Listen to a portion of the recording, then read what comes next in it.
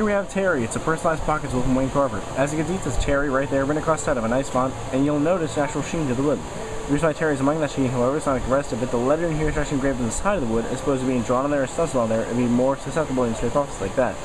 That also applies to back here. We have our tonal pole top and Bethany Sheller written across the bottom. Inside of the pocket tool, we have one file, one knife, and one pair of scissors. In this case, if you're ever interested, you should come check it out at the Bethany Trading Company or across the street at Kites, Tails and Toys, all for $5.99. You won't be disappointed.